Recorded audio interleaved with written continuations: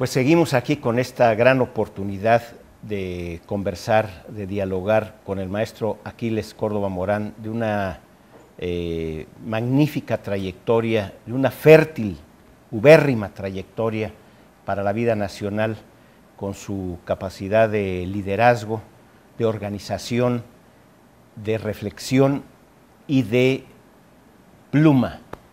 Este, él es eh, calámico también. Eh, no cualquiera, no cualquiera de los, de los eh, grandes líderes que hemos tenido en nuestro país, porque mentiríamos si dijéramos que no ha habido cuadros importantes.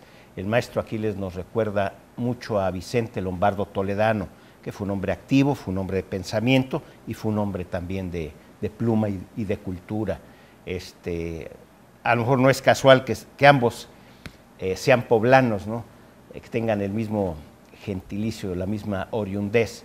Pero el hecho concreto es que hoy tenemos esta oportunidad de conversar sobre temas eh, muy amplios, temas acuciantes en medio de una crisis mundial y que lógicamente le está pegando a nuestro país comentaba el maestro Aquiles Córdoba Morán de esta forma eh, global en que se ha venido eh, presentando esta agudización de las, de las contradicciones.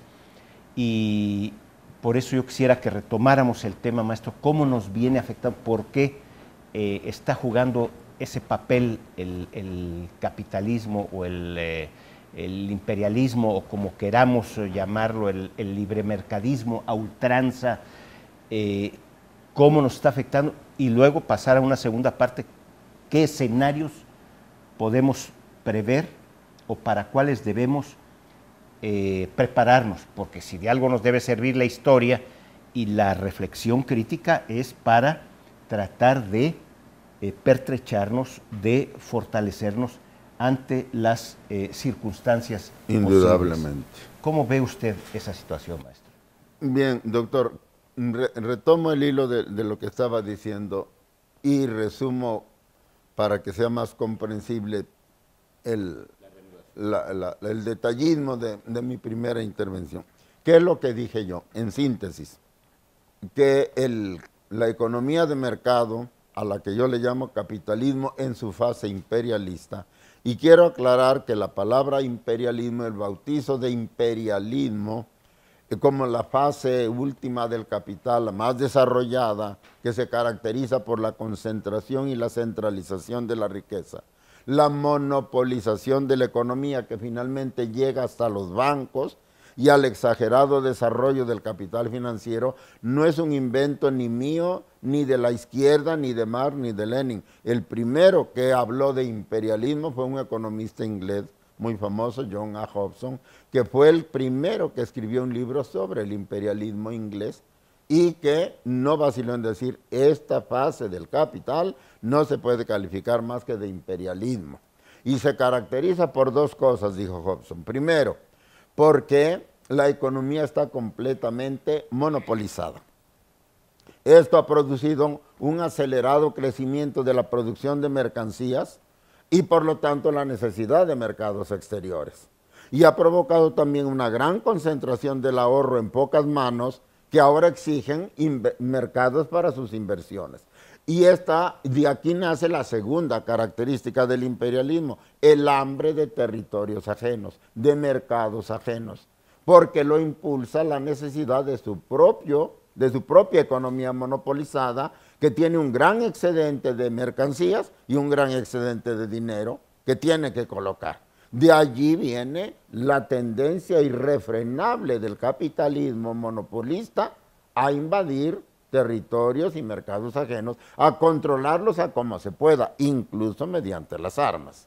Eso lo dice Hobson, que es un economista inglés muy importante, su obra está publicada, mucha gente la ha de conocer. Yo hablo entonces de esta fase imperialista con esas características que dice Hobson. Y lo que yo estoy señalando es que de, Hobson a la fecha ya pasaron más de 100 años. Y sin embargo seguimos en esa fase, pero ya no igual que como Hobson la conoció. Esto ha evolucionado. En la época de Hobson todavía no se veía lo que implicaba, lo que podía provocarse con el crecimiento cada vez mayor del ahorro, o sea, del capital bancario, del capital en dinero que busca dónde aplicarse, que es lo que está provocando, para mi gusto, la actual crisis del mundo.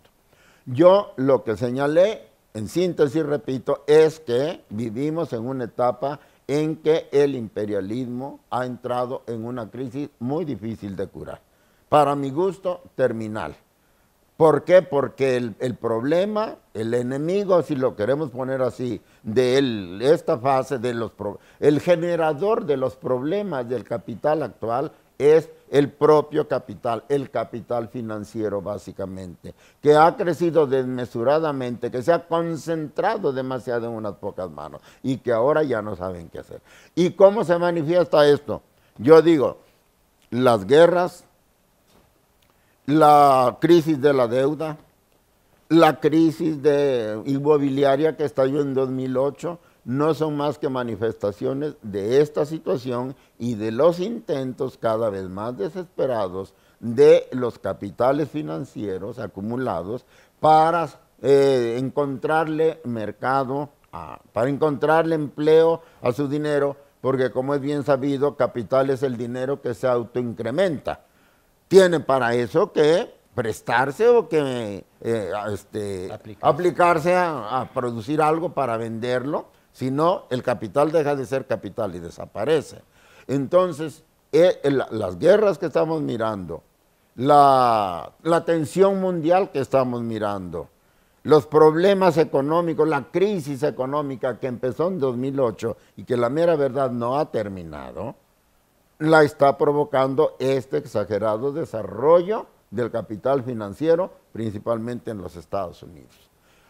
Por eso me detuve a enumerar cuáles son los objetivos que a todas luces está provocando las guerras del Medio Oriente, las guerras del norte de África, que no se pueden estabilizar, porque quienes deberían estabilizarlas son los que las están atizando, por intereses clarísimamente de carácter económico y también de carácter geopolítico.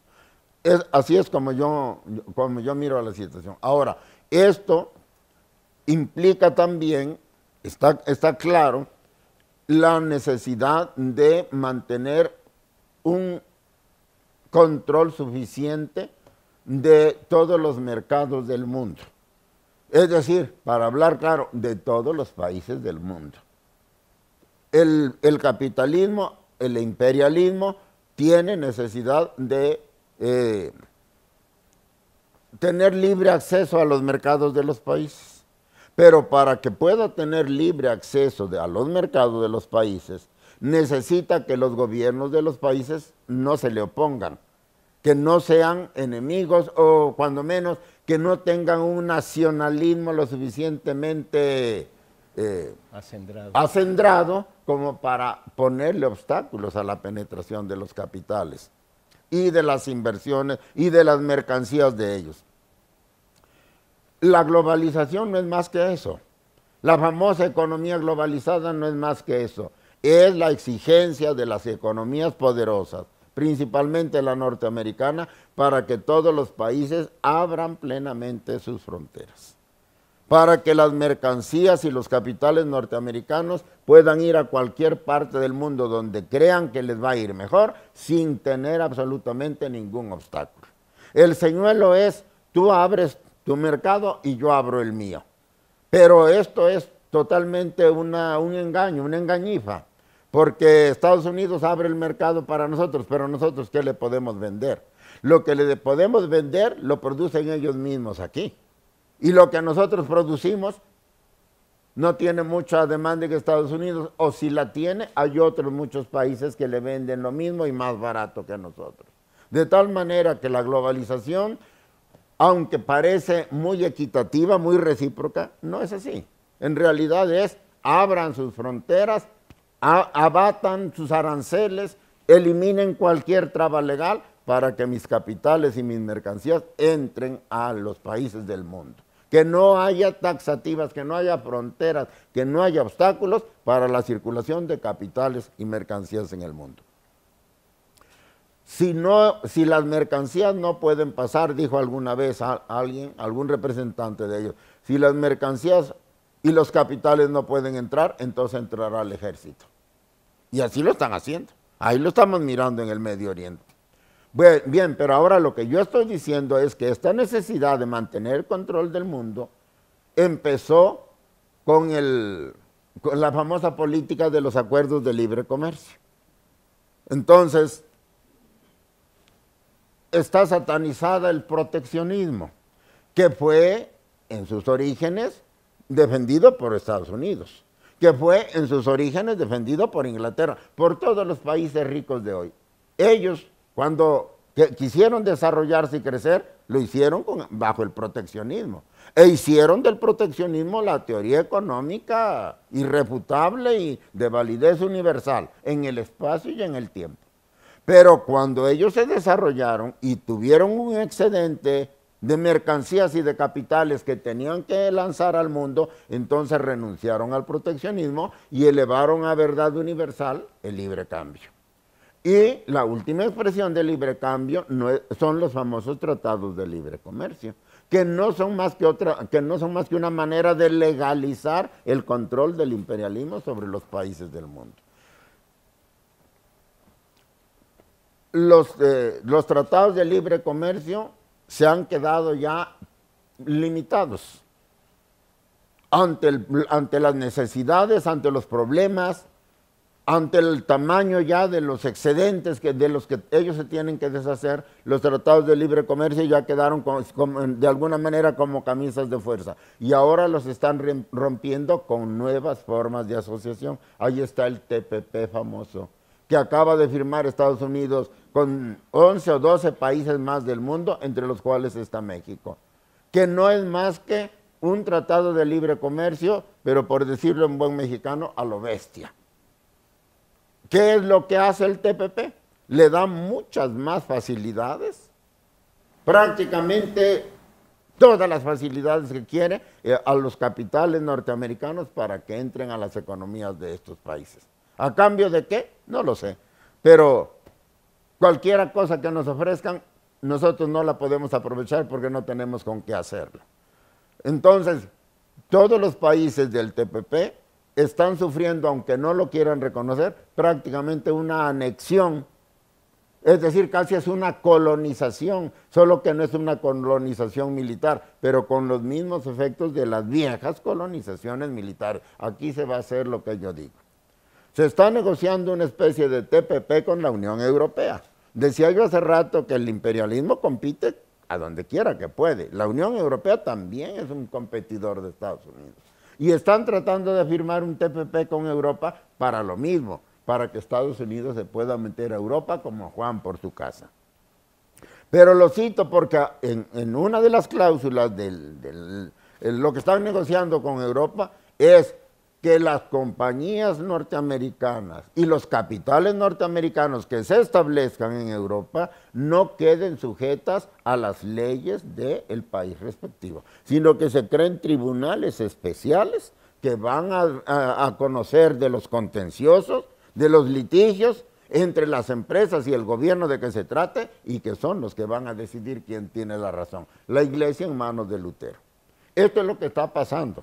Los Estados Unidos están ideando nuevos mecanismos para mantener abiertos los mercados de capitales y los mercados de mercancías del mundo a su favor, para que ellos puedan salir, para que ellos puedan desfogar el exceso de capitales y el exceso de producción mercantil y su economía pueda reflotar y al mismo tiempo para que ellos conserven la hegemonía militar, económica, política sobre el mundo entero.